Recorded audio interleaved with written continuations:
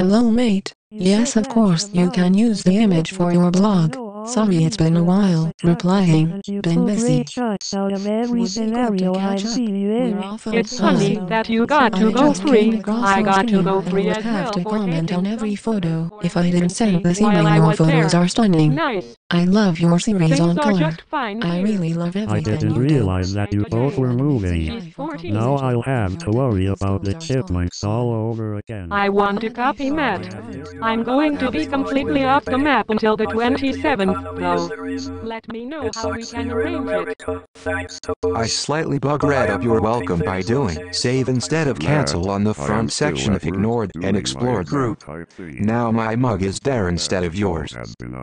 Isn't it just bloody horrible weather? Well, Hey, horrible Matt, weather to I do anything, to photography and all that, but I actually really love the rain and putting me slippers a on with a good video and a The hot cup of fuckers tea. have struggled to find time for Flickr lately. For a while I was posting as Things are going very well for me now.